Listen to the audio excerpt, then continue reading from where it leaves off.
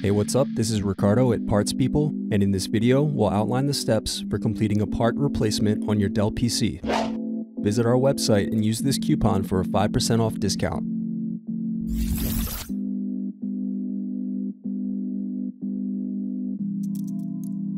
Unscrew and remove bottom base.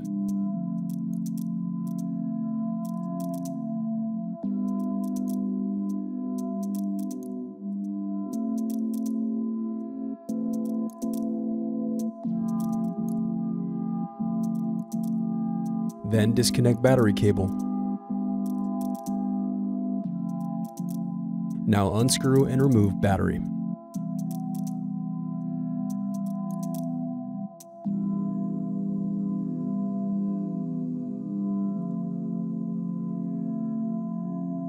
Now unscrew and remove bracket.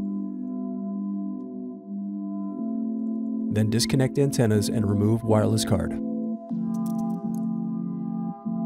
Now unscrew solid state drive.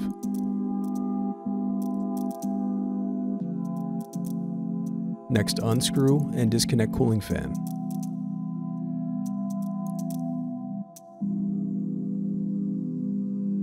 Now unscrew and remove heatsink.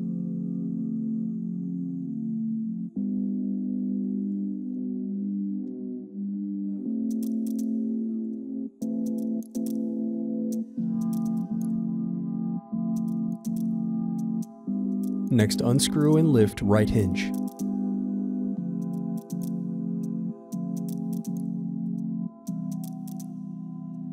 Then remove motherboard cables.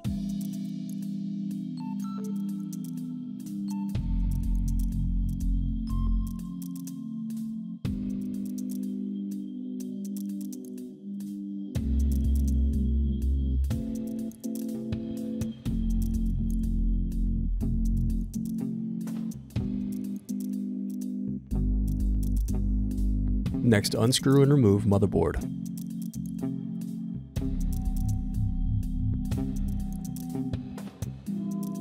Thanks for watching. Don't forget to like and subscribe if you enjoyed this video.